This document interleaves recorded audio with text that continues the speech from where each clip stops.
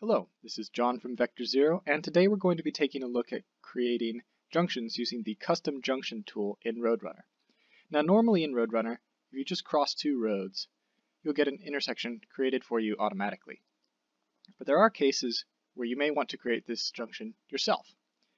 First example, which you may run into, are four roads that do not actually intersect. To create a junction now, switch over to the Custom Junction tool and right-click on each of the ends of this road and hit spacebar to create a new junction. You'll notice that we've now created corners, maneuver roads are present, and we can signalize this just like a normal intersection.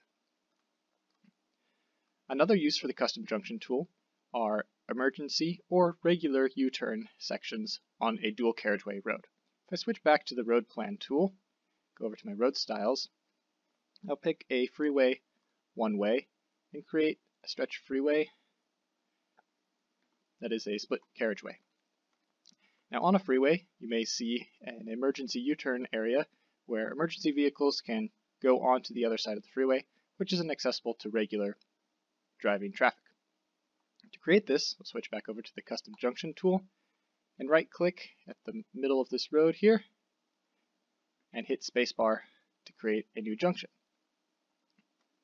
I go over to the maneuver tool, you can see that the travel continues through as normal. But if I want to create these U-turns, I'll left click here and right click on this lane and do the same for this. So I'll left click here and right click to create these two U-turns so that emergency vehicles can travel to the other side of the freeway.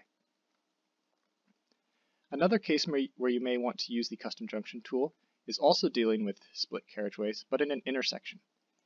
If, for example, I created an intersection using these two roads and then these two,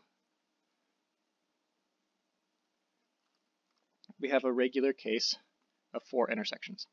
But let's say, for example, that this road was a dual carriageway. If I switch these travel directions now,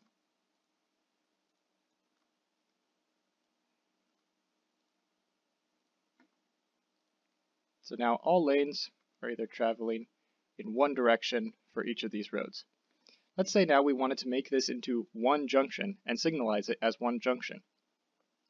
We can use the custom junction tool and right click on each of these junctions, and hit spacebar to combine them into a single junction that now has maneuver roads that we can signalize as one piece.